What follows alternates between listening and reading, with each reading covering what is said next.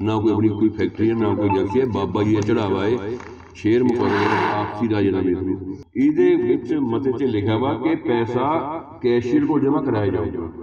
Cashier ਕਹਿੰਦਾ ਮੇਰੇ ਕੋਲ ਦੋ ਪੈਸੇ ਵੀ ਨਹੀਂ ਮੈਂ ਬੜੇ ਦੁਖੀ ਮਨ ਨਾਲ ਕਹਿੰਦਾ ਕਿ ਉਸ ਸੇਵਾ ਦੀ ਆੜ ਦੇ ਵਿੱਚ ਤੁਸੀਂ ਇਹਨਾਂ ਦੇ ਯੂਪੀਆਈ ਪੇਮੈਂਟ ਇਹਦੇ ਅਕਾਊਂਟ ਚੈੱਕ ਕਰਾਓ ਕਿ ਪੈਸਾ ਕਿੰਨਾ ਲੋਕਾਂ ਦਾ ਆ ਗਿਆ। ਉਹਦੀ ਵਿਜੀਲੈਂਸ ਜਾਂਚ ਹੋਣੀ ਚਾਹੀਦੀ ਫਿਰ। ਇਹ ਲੜਾਈ ਸਿਰਫ ਗੋਲਕ ਦੀ ਚੜਾਵੇ ਦੀ ਨਹੀਂ ਹੈ ਇਹ ਬਾਹਰੋਂ ਲੁੱਟ ਲੋਕਾਂ ਦੀ ਹੋ ਰਹੀ ਪੈਸੇ ਪਾਏ ਜਾ ਰਹੇ ਲੋਕਾਂ ਦੇ। ਵੈਸਟਰਨ ਮਨੀ ਦੁਆਰਾ ਪੈਸੇ ਪਾਏ ਜਾ ਰਹੇ। ਉਹ ਪੈਸੇ ਕਿੱਥੇ? ਪਰ ਜੇ ਦਰਗਾਹ ਦਾ ਕਿਉਂ ਅਕਾਊਂਟ ਨਹੀਂ ਹੈ? ਮੈਨੂੰ ਇਹ ਦੱਸਣ। ਕਿ ਹੁਣੇ ਹੀ ਜਿੱਥੇ ਗੋਲਕ ਦੀ ਡਿਸਟ੍ਰੀਬਿਊਸ਼ਨ ਹੁੰਦੀ ਉੱਥੇ ਕੈਮਰਾ ਲੱਗਿਆ ਹੋਇਆ। ਉਹਦੀ ਡਿਸਟ੍ਰੀਬਿਊਸ਼ਨ ਸਮੇਂ ਦੀ ਤੁਸੀਂ ਵੀਡੀਓ ਕੱਢ ਲਓ। ਤੁਹਾਨੂੰ ਹੁਣੇ ਸਾਹਮਣੇ ਸਭ ਕੁਝ ਸੱਚ ਆਣਾ ਅਗਰ ਮੈਂ ਝੂਠ ਹੋਵਾਂ ਤਾਂ ਮੈਂ ਸਜ਼ਾ ਦਾ ਹੱਕਦਾਰ ਮਾਮਲਾ ਕਾਊਂਟਰਾਂ ਦਾ ਹੈ ਉਹਦੇ ਨਾਲ ਮੈਂ ਸੇਵਾ ਚਲਾ ਰਿਹਾ ਸਭ ਕੁਝ ਚਲਾ ਰਿਹਾ। ਜੇ ਮੇਰੇ ਤੇ ਹਿਸਾਬ ਲੈਣਾ ਮੇਰੇ ਤੇ ਹਿਸਾਬ ਜਾ ਮਰਜ਼ੀ ਲੈ ਲੈਣ, ਮੈਂ ਕਿਹੜਾ ਹਿਸਾਬ ਤੋਂ ਮੁੱਕਰਦਾ ਜੀ? ਟਰਸਟ ਤਾਂ ਬਣੇ ਜੇ ਮੈਂ ਇੱਥੇ ਕੰਮ ਨਾ ਕਰਦਾ ਹਾਂ ਨਾ ਸੇਵਾ ਕਰਦਾ ਹਾਂ ਇੱਥੇ ਟਰਸਟ ਦਾ ਕੀ ਮਤਲਬ ਹੈ? ਜਦ ਮੈਂ ਗਰੀਬਾਂ ਕੁੜੀਆਂ ਦੇ ਵਿਆਹ ਵੀ ਕਰਾਂਦਾ, ਲੋਕ ਕੋਈ ਗਰੀਬ ਦੀ ਮਦਦ ਵੀ ਮੈਂ ਹਰੇਕ ਮੈਂ ਹਰੇਕ ਪ੍ਰਕਾਰ ਦੀ ਕਰਦਾ। ਕਿਸੇ ਦੀ ਕੋਈ ਲੱਤ ਟੁੱਟ ਜਾਵੇ, ਕਿਸੇ ਦੀ ਕੋਈ ਬਾਹਰ ਟੁੱਟ ਜਾਵੇ, ਮੈਂ ਉਹਨਾਂ ਨੂੰ ਪੈਸੇ ਵੀ ਦਿੰਦਾ। ਤੇ ਹੋਰ ਸੰਸਥਾ ਨੂੰ ਵੀ ਪੈਸੇ ਦਿੰਦਾ। ਉਹ ਤਾਂ ਕਹਿੰਦੇ ਵੀ ਸਾਰਾ ਕੁਝ ਬੰਦ ਕਰਕੇ ਸਾਨੂੰ ਦੇ ਦਿਓ, ਇਹ ਤਾਂ ਗਲਤ ਹੈ। ਨੋ ਬਾਕੀ ਕਿ ਮੈਂ ਕਹੂੰਗਾ ਵੀ ਇੰਦਾ ਕੋਡ ਇਹਨਾਂ ਕੋਡ ਰਾਹੀਂ ਭੇਜਿਆ ਹੋਇਆ ਮੇਰੇ ਨੋਟ ਦੀ ਦਾ ਜਵਾਬ ਮੈਂ ਇਹਦੇ ਵਕੀਲ ਨੂੰ ਹੀ ਭੇਜੂਗਾ। ਸਭ ਤੋਂ ਪਹਿਲਾਂ ਸਮੂਹ ਸਾਧ ਨੂੰ ਵਾਹਿਗੁਰੂ ਜੀ ਕਾ ਖਾਲਸਾ, ਵਾਹਿਗੁਰੂ ਜੀ ਕੀ ਫਤਿਹ। ਅਸਲਾਮ ਵਾਲੇਕਮ ਨਮਸਕਾਰ। ਜਿਹੜਾ ਇਹ ਸਾਡਾ ਮਸਲਾ ਹੈ, ਕਾਊਂਟਰਾਂ ਦਾ, ਇਹ ਸਾਡਾ ਮਸਲਾ ਨਹੀਂ ਹੈ, ਪਬਲਿਕ ਦਾ ਮਸਲਾ ਹੈ। ਸਾਡੀ ਤਾਂ ਇੰਨੀ ਕੁ ਜ਼ਿੰਮੇਵਾਰੀ ਬਣਦੀ ਹੈ ਕਿ ਅਸੀਂ ਸੰਗਤਾਂ ਦੀ ਨੌਲੇਜ ਚ ਲਿਆਈਏ। ਕਿ ਉਹਨਾਂ ਦੀ ਦਿੱਤੀ ਵੀ ਮਾਇਆ ਹੈ। ਸਾਡੀ ਔਕਾਤ ਨਹੀਂ ਹੈ ਇੱਥੇ ਪੈਸਾ ਲਾਣਾ ਇੱਥੇ ਬਿਲਡਿੰਗਾਂ ਬਣਾਉਣੀਆਂ। ਸਾਡੀ ਔਕਾਤ ਨਹੀਂ, ਸੰਗਤ ਖੁਦ ਕਰਵਾ ਰਹੀ। ਜਿੰਨਾ ਕਰਵਾ ਰਹੀ, ਉਹਦੇ ਚਾਰ ਗੁਣਾ ਸੰਗਤ ਵੱਧ ਦੇ ਰਹੀ। ਸਾਡੀ ਮਨਸਾ ਇਹੀ ਹੈ, ਮੈਂ ਕਿਸੇ ਦੇ ਦੂਸ਼ਣਬਾਜ਼ੀ ਨਹੀਂ ਕਰਨਾ ਚਾਹੁੰਦਾ, ਨਾ ਪਰਸਨਲ ਕਿਸੇ ਤੇ ਕੋਈ ਅਟੈਕ ਕਰਨਾ ਚਾਹੁੰਦਾ। ਇਹੀ ਮਨਸਾ ਹੈ ਵੀ ਇਸ ਪੈਸੇ ਨੂੰ ਰਿਕਾਰਡ 'ਚ ਲਿਆਂਦਾ ਜਾਵੇ। ਜਦੋਂ ਇਹਨਾਂ ਦੀ ਆਪਸੀ ਲਿਟੀਗੇਸ਼ਨ ਸੀ 2019 ਤੋਂ ਸ਼ੁਰੂ ਹੋਈ, ਤਾਂ ਮਾਨਯੋਗ ਅਦਾਲਤ ਨੇ ਇਹਨਾਂ ਦੇ ਸ਼ੇਅਰ ਦੇ ਉੱਤੇ ਇੱਕ ਰਿਸੀਵਰ ਪੁਆਇੰਟ ਕੀਤਾ। ਤੇ ਰਿਸੀਵਰ ਸਾਹਿਬ ਨੇ ਸਾਨੂੰ ਕਿਹਾ ਜਦ ਕਿ ਇਸ ਵਿੱਚ ਪਾਰਟੀ ਨਹੀਂ ਸੀ ਰਿਸੀਵਰ ਸਾਹਿਬ ਨੇ ਸਾਨੂੰ ਇਹ ਗੱਲ ਕਹੀ ਵੀ ਤੁਸੀਂ ਐਂ ਕਰੋ, ਜਿਹੜੇ ਤੁਹਾਡੇ ਅਰਮਾਲੇ ਹੈ ਵੇਸਟੇਜ ਤੇਲ ਹੈ ਫਟੇ ਪੁਰਾਣੇ ਨੋਟ ਹੈ ਹੋਰ ਕੋਈ ਆਮਦਨ ਜਾਤੂ ਦੇ ਕੇ ਜਾਂਦਾ ਸੇਵਾ ਵਾਸਤੇ ਜਾਂ ਕਾਊਂਟਰਾਂ ਦੀ ਸੇਲ ਹੈ ਵੀ ਇਹ ਤੁਸੀਂ ਨਾ ਬਾਬਾ ਜੀ ਦੀ ਦਰਗਾਹ ਤੇ ਲਾਓ, ਯਾਰ ਮਤਾ ਪਾ ਦਿਓ। ਉਹ ਮਤੇ ਦੀ ਕਾਪੀ ਇਹ ਸਾਡੇ ਕੋਲ ਮੌਜੂਦ ਹੈ ਸਭ ਦੇ ਸਹੀ ਨੇ।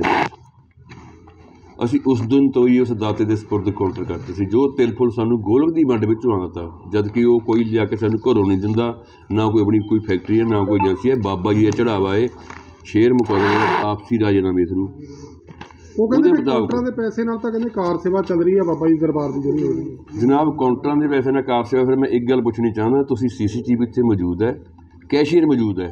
ਇਹਨੇ ਇੱਕ ਹੋਰ ਗੱਲ ਸੁਣੋ ਇਹਦੇ ਵਿੱਚ ਮਤੇ 'ਚ ਲਿਖਿਆ ਵਾ ਕਿ ਪੈਸਾ ਕੈਸ਼ੀਅਰ ਕੋਲ ਜਮ੍ਹਾਂ ਕਰਾਇਆ ਜਾਊਗਾ। ਕੈਸ਼ੀਅਰ ਕਹਿੰਦਾ ਮੇਰੇ ਕੋਲ ਦੋ ਪੈਸੇ ਵੀ ਨਹੀਂ ਹੈ। ਇਹ ਮਤੇ 'ਚ ਇਹ ਲਿਖਿਆ ਵਾ ਤਾਂ। ਤੇ ਫਿਰ ਇਹਦੇ ਕੋਲ ਪੈਸੇ ਕਿਵੇਂ ਆ ਗਏ ਨੇ? ਪਰਿਵਾਰ ਕੋਲ ਪੈਸੇ ਕਿੱਦਾਂ ਆ ਗਏ ਸਾਰੇ?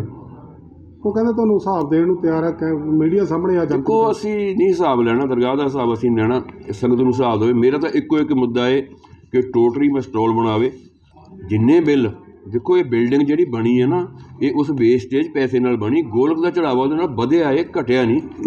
ਗੋਲਕ ਚੋਂ 1 ਰੁਪਈਆ ਨਹੀਂ ਕੱਢਿਆ, ਜੋ ਵੀ ਇਹ ਚੰਦ ਜਿੱਦਾਂ ਹੁਣ ਬਿਜਲੀ ਤਾਰ ਚੋਰੀ ਹੋਈ ਬਾਬਾ ਜੀ ਦੀ 50000 ਰੁਪਏ ਦੀ। ਉਹ ਵੀ ਗੋਲਕ ਚੋਂ ਪੈਸੇ ਨਿਕਲ ਰਹੇ ਰੋਜ਼ 2000 ਪਰ। 25000 ਰੁਪਏ ਇਹਨਾਂ ਨੇ ਪਹਿਲਾਂ 30000 ਰੁਪਏ ਸੀਸੀਟੀਵੀ ਕੈਮਰਿਆਂ ਤੇ ਲਾਇਆ। ਸਾਡੀ ਨੌਲੇਜ ਤਾਂ ਚਲੋ ਕੈਮਰੇ ਸਹੀ ਕਰਾ ਲਏ ਛੋਟੀ ਮੋਟੀ ਗੱਲਾਂ ਨੂੰ ਇਗਨੋਰ ਵੀ ਕਰ ਦਿੰਦੇ। ਉਹ ਵੀ ਗੋਲਕ ਚੋਂ ਪੈ ਰਿਹਾ। ਫਿਰ ਇਹ ਕਾਊਂਟਰ ਦੇ ਪੈਸੇ ਰਿਸੀਵਰ ਤਾਂ ਪੰਜੀ ਪੰਜੀ ਕਾਊਂਟਰਾਂ ਦੀ ਚੜਾਵੇ ਜੋ ਖਾਤੇ ਰਹੇ ਸੀ ਦਰਗਾਹ ਦੀ ਡਿਵੈਲਪਮੈਂਟ ਦੇ। ਫਿਰ ਇਹ ਕਿਉਂ ਨਹੀਂ ਖਰਚਦੇ? ਇਹ ਕਹਿੰਦੇ ਮੈਂ ਤਾਂ ਕਹਿੰਦੇ ਵੀ ਜਿਹੜੇ ਪੈਸਾ ਜਿਹੜਾ ਹੈਗਾ ਅਸੀਂ ਐਂਬੂਲੈਂਸ ਲੈਣ ਜਾ ਰਹੇ ਸੰਗਤ ਵਾਸਤੇ। ਦੇਖੋ ਜੀ ਮੈਂ ਤੁਹਾਨੂੰ ਇੱਕ ਗੱਲ ਦੱਸਣੀ ਚਾਹੁੰਦਾ ਮੈਨੂੰ ਮਾਫ ਕਰਿਓ ਮੈਂ ਸੋਤੇ ਹੱਥ ਜੋੜ ਕੇ ਮਾਫੀ ਮੰਗਦਾ ਹੈ। ਬਾਬਾ ਜੀ ਦੀ ਦਰਗਾਹ ਵਾਸਤੇ ਕਿ ਇਹਨਾਂ ਨੇ ਆਪਣੀ ਮਰਜ਼ੀ ਨਾਲ ਇੱਥੇ ਲੰਗਰ ਦੀ ਸੇਵਾ ਸ਼ੁਰੂ ਕੀਤੀ ਪੀਜੀਆਈ ਦੀ ਬਹੁਤ ਬੜਾ ਸ਼ੁਕਰਾਨਾ ਹੈ ਸ਼ੁਰੂ ਕੀਤੀ।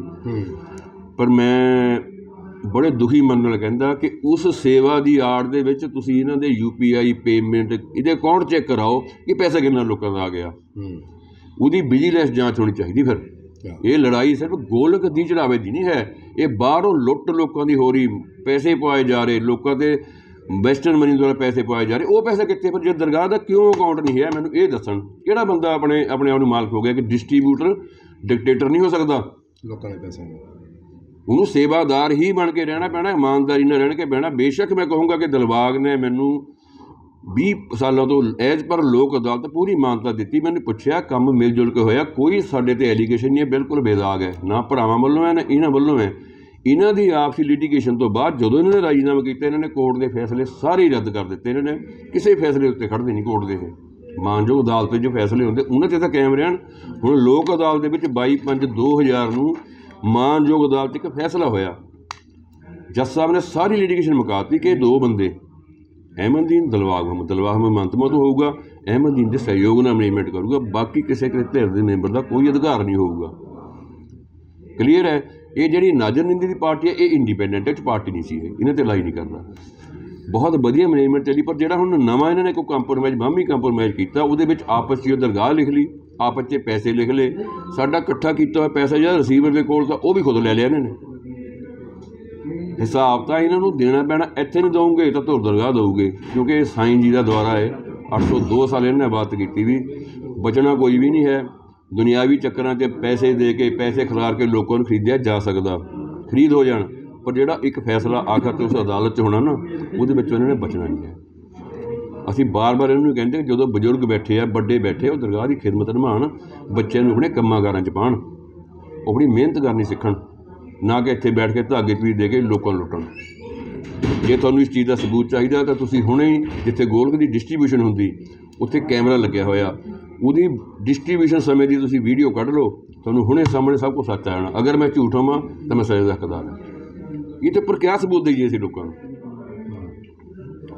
ਸੰਗਤਾਂ ਦੀ ਆਸਥਾ ਹੈ। ਕੌਣ ਕਰਦਾ ਫਿਰ? ਧਾਗੇ ਤਵੀਤ ਕੌਣ ਕਰਦਾ ਇੱਥੇ? ਸਾਰੇ ਕਰਦੇ ਧਾਗੇ ਤਵੀਤ ਜਦੋਂ ਮਹੰਤ ਮੋਤਮ ਨੇ ਇੱਕ ਦਿਨ ਗੱਲ ਕਹੀ ਸੀ ਵੀ ਕੋਈ ਧਾਗਾ ਤਵੀਤ ਨਹੀਂ ਕਰੂਗਾ ਪਰ ਉਹਨੇ ਕਹਿਣ ਦੇ ਬਾਵਜੂਦ ਵੀ ਨਾ ਚੌਕੀਆਂ ਬੰਦ ਹੋਈਆਂ। ਦੇਖੋ ਪਬਲਿਕ ਕਰਦੀ ਪਬਲਿਕ ਸਾਰੀ ਹੈ। ਸਾਨੂੰ ਸਭ ਦਾ ਸਤਿਕਾਰ ਦੇਣਾ ਬਣਦਾ। ਕੁਝ ਬੰਦਿਆਂ ਨੂੰ ਪ੍ਰੋਬਲਮ ਹੁੰਦੀਆਂ ਉਹ ਚਲੋ ਪੁਜਾਰੀ ਨੂੰ ਦੱਸ ਦਿੰਦੇ ਵੀ ਸਾਨੂੰ ਆਹ ਦਿੱਕਤ ਹੈ। ਉਹਨਾਂ ਨੂੰ ਅੱਗੇ ਮਿਸਗਾਈਡ ਕਰਨਾ ਉਹਨਾਂ ਨੂੰ ਝੂਠੇ ਵਿੱਚ ਚੀਜ਼ਾਂ ਦੇ ਪਹੁੰਚਾਉਣਾ ਗਲਤ ਗੱਲ ਹੈ। ਇਹ ਗੁਰੂ ਘਰ ਦੀ ਬੇਅਦਬੀ ਹੈ। ਸੰਗਤਾਂ ਆਉਂਦੀਆਂ ਬਾਬਾ ਜੀ ਦੁਆ ਕਰੋ ਦਾਤਾ ਠੀਕ ਕਰੂਗਾ ਉਹਨਾਂ ਨੂੰ। ਉਹਨਾਂ ਦੀ ਮਨਸਾ ਹੈ ਇਹ ਦਾਤੇ ਦੀ ਕਿਰਪਾ ਹੈ। ਜਿਹੜੇ ਲੋਕਾਂ ਨੂੰ ਅਸੀਂ ਚਾਹ ਨਹੀਂ ਪਿਲਾਉਂਦੇ ਆ ਅੰਦਰ ਵੜ ਕੇ ਅਰਦਾਸ ਨਹੀਂ ਕਰਦੇ ਕਿ ਉਹਨਾਂ ਦੀਆਂ ਮੁਰਾਦਾਂ ਪੂਰੀਆਂ ਨਹੀਂ ਹੁੰਦੀਆਂ। ਸਭ ਦੀਆਂ ਹੁੰਦੀਆਂ। ਬੀਏਬੀ ਟ੍ਰੀਟਮੈਂਟ ਵੀਆਈਪੀ ਟ੍ਰੀਟਮੈਂਟ ਦੇਣ ਨਾਲ ਸੰਗਤਾਂ ਦਾ ਨੁਕਸਾਨ ਆਪਣਾ ਨੁਕਸਾਨ ਵੀ ਸੰਗਤਾਂ ਦਾ ਨੁਕਸਾਨ ਵੀ ਹੈ। ਇੱਕ ਵੀਆਈਪੀ ਟ੍ਰੀਟਮੈਂਟ ਦੇਣੀ ਆਓ ਜੀ ਅੱਗੇ ਠੀਕ ਹੈ ਕੋਈ ਅਫਸਰ ਸਾਹਿਬਾਨ ਹੈ ਤੇ ਸਤਿਕਾਰ ਦਿਓ ਕੁਝ ਵੀ ਕਰੋ ਪਰ ਉਹਨਾਂ ਨੂੰ ਮਿਸਰੀਡ ਨਾ ਕਰੋ ਆਸਥਾ ਦੇ ਨਾਂ ਤੇ ਗੁੰਮਰਾਹ ਨਾ ਕਰੋ। ਤੁਹਾਨੂੰ ਉਹਨਾਂ ਦਾ ਹੀ ਜੀਜਾ ਮੱਖਣ ਸ਼ਾਹ ਜੋ ਆਪਣੇ ਛੇਵੇਂ ਹਿੱਸੇ ਦਾ ਹਿੱਸੇਦਾਰ ਹੈ। ਉਹ ਆਪਣੀ ਸਟੇਟਮੈਂਟ ਵੀ ਦੇਵੇ ਵੀ ਸੱਚ ਹੈ ਕਿ ਝੂਠ ਹੈ। ਬਾਬਾ ਜੀ ਮਾਮਲਾ ਕੀ ਹੈ? ਕਾਉਂਟਰਾਂ ਨੂੰ ਲੈ ਕੇ ਮਾਮਲਾ ਸੀਗਾ ਕੀ ਮਾਮਲਾ ਕੋਂਟਰਾਂ ਦਾ ਹੈ ਉਹਦੇ ਨਾਲ ਮੈਂ ਸੇਵਾ ਚਲਾ ਰਿਹਾ ਸਭ ਕੁਝ ਚਲਾ ਰਿਹਾ। ਜੇ ਮੇਤੇ ਹਿਸਾਬ ਲੈਣਾ ਮੇਤੇ ਹਿਸਾਬ ਜਾ ਮਰਜ਼ੀ ਲੈ ਲੈਣ ਮੈਂ ਕਿਹੜਾ ਹਿਸਾਬ ਤੋਂ ਮੁੱਕਰਦਾ ਜੀ? ਉਹ ਤਾਂ ਕਹਿੰਦੇ ਸਾਨੂੰ ਸਾਥ ਨਹੀਂ ਦਿੱਤਾ ਜਾ ਰਿਹਾ ਜਿਸ ਕਰਕੇ ਮੈਂ ਕਿਹਾ ਜੀ ਜਦ ਮਰਜ਼ੀ ਮੇਤੇ ਹਿਸਾਬ ਲੈਣਾ ਚਾਹੇ ਮੇਰਾ ਸਾਹਮਣੇ ਲੈ ਲੈਣਾ। ਮੈਂ ਕਿਹੜਾ ਮੁੱਕਰਦਾ ਜੀ? ਬਾਕੀ ਇੱਕ ਮੈਂ ਕਹੂੰਗਾ ਵੀ ਜਿਹੜਾ ਉਹਨਾਂ ਦਾ ਛੇਵੇਂ ਹਿੱਸੇਦਾਰ ਉਹਨਾਂ ਦਾ ਜੀਜਾ ਮੱਖਣ ਸ਼ਾਹ ਉਹਦੇ ਪੁੱਛੋਗੇ ਸੱਚ ਹੈ ਕਿ ਝੂਠ ਆ ਦਿਓ ਜੀ ਸਟੇਟਮੈਂਟ ਆਪਣੀ। ਬਾਬਾ ਜੀ ਉਹ ਕਹਿੰਦੇ ਟਰਸਟ ਬਣਾ ਲੈਣਾ ਚਾਹੀਦਾ। ਨਹੀਂ ਟਰਸਟ ਤਾਂ ਬਣੇ ਜੇ ਮੈਂ ਇੱਥੇ ਕੰਮ ਨਾ ਕਰਦਾ ਹਾਂ ਨਾ ਸੇਵਾ ਕਰਦਾ ਹਾਂ ਜੇ ਬਿਲਡਿੰਗ ਮੈਂ ਨਾ ਚਲਾਉਂਦਾ ਹੋਵਾਂ ਜੇ ਲੰਗਰ ਨਾ ਚਲਾਉਂਦਾ ਹੋਵਾਂ ਹਰ ਹਰ ਜਿੰਨੇ ਵੀ ਇੱਥੇ ਦੇ ਪ੍ਰਬੰਧ ਜੇ ਮੈਂ ਨਾ ਕਰਦਾ ਹੋਵਾਂ ਮੈਂ ਤੁਹਾਨੂੰ ਫੇਰ ਕਹਿ ਰਿਹਾ ਕਿ ਲੰਗਰ 24 ਘੰਟੇ ਚੱਲਦਾ। 80 ਮੈਂ ਵਰਕਰ ਰੱਖੇ ਹੋਏ ਆ। ਪਾਣੀ ਦਾ ਪੂਰਾ ਪ੍ਰਬੰਧ ਹੈ। ਸੰਗਤ ਦੀ ਅੱਜ ਤੱਕ ਕੋਈ ਕੰਪਲੇਂਟ ਨਹੀਂ ਆਈ। ਜੇ ਇੱਥੇ ਕੋਈ ਕੰਪਲੇਂਟ ਆਊਗੀ ਟਰਸਟ ਯਾਰ ਤੁਸੀਂ ਟਰਸਟ ਬਾਰੇ ਕਿਉਂ ਕਹਿ ਰਹੇ? ਪੀਜੀਆਰ ਨੂੰ ਲੰਗਰ ਮੈਂ ਭੇਜ ਰਿਹਾ। ਮੈਂ ਹੁਣ ਸੰਗਤਾਂ ਵਾਸਤੇ ਇੱਕ ਨਵਾਂ ਇੱਕ ਨਵਾਂ ਤੋਹਫਾ ਮੈਂ ਹੋਰ ਦੇ ਰਿਹਾ। ਕਿ ਮੈਂ ਐਂਬੂਲੈਂਸ ਨਵੀਂ ਕਢਵਾ ਕੇ ਗੁਰਦੁਆਰਾ ਪ੍ਰਤਾਪ ਬੜੀ ਚੌਂਕ ਖੜਾਵਾਂਗਾ, ਉਹ ਲੋਕਾਂ ਦੀ, ਉਹ ਲੋਕਾਂ ਦੀ ਜਨਤਾ ਦੀ ਸੇਵਾ ਸਹੂਲਤ ਵਾਸਤੇ ਕਰ ਰਿਹਾ, ਮੈਂ ਇਦਾਂ ਦੇ ਕੰਮ। ਇੱਥੇ ਟਰਸਟ ਦਾ ਕੀ ਮਤਲਬ ਹੈ? ਜਦ ਮੈਂ ਗਰੀਬਾਂ ਕੁੜੀਆਂ ਦੇ ਵਿਆਹ ਵੀ ਕਰਾਂਦਾ, ਲੋਕ ਕੋਈ ਗਰੀਬ ਦੀ ਮਦਦ ਵੀ ਮੈਂ ਹਰੇਕ ਮੈਂ ਹਰੇਕ ਪ੍ਰਕਾਰ ਦੀ ਕਰਦਾ, ਕਿਸੇ ਦੀ ਕੋਈ ਲੱਤ ਟੁੱਟ ਜਾਵੇ, ਕਿਸੇ ਦੀ ਕੋਈ ਬਾਂਹ ਟੁੱਟ ਜਾਵੇ, ਮੈਂ ਉਹਨਾਂ ਨੂੰ ਪੈਸੇ ਵੀ ਦਿੰਦਾ ਤੇ ਹੋਰ ਸੰਸਥਾ ਨੂੰ ਵੀ ਪੈਸੇ ਦਿੰਦਾ। ਹਰ ਕਿਸੇ ਨੂੰ ਮੈਂ ਇਥੋਂ ਪੈਸੇ ਦਿੰਦਾ ਕੋਈ ਵੀ ਇੱਥੇ ਆ ਜਾਵੇ ਮੈਂ ਅੱਜ ਤੱਕ ਇਹਨੂੰ ਖਾਲੀ ਨਹੀਂ ਮੋੜਿਆ। ਫਿਰ ਟਰਸਟ ਦਾ ਮਤਲਬ ਕਿਉਂ ਹੈ? ਉਹ ਤਾਂ ਕਹਿੰਦੇ ਵੀ ਸਾਰਾ ਕੁਝ ਬੰਦ ਕਰਕੇ ਸਾਨੂੰ ਦੇ ਦਿਓ ਇਹ ਤਾਂ ਗਲਤ ਹੈ। ਨੋ ਥਿੰਕ ਬਾਕੀ ਕਿ ਮੈਂ ਕਹੂੰਗਾ ਵੀ ਇੰਦਾ ਕੋਰਟ ਇਹਨਾਂ ਕੋਰਟ ਰਾਹੀਂ ਭੇਜਿਆ ਹੋਇਆ ਮੈਨੂੰ ਨੋਟਿਸ ਦਾ ਜਵਾਬ ਮੈਂ ਇਹਦੇ ਵਕੀਲ ਨੂੰ ਹੀ ਭੇਜੂੰਗਾ। ਬਾਕੀ ਜਿਹੜਾ ਇਹਨਾਂ ਦਾ ਜਿਹੜਾ ਇਹਨਾਂ ਦਾ ਹਿੱਸੇਦਾਰ ਆ ਛੇਵਾਂ ਮੱਖਣ ਸ਼ਾਹ ਉਹਦੇ ਪੁੱਛੋ ਵੀ ਕੀ ਆ ਵੀ ਸੱਚ ਕਿ ਝੂਠ ਹੈ ਜੀ? ਦਿਓ ਸਟੇਟਮੈਂਟ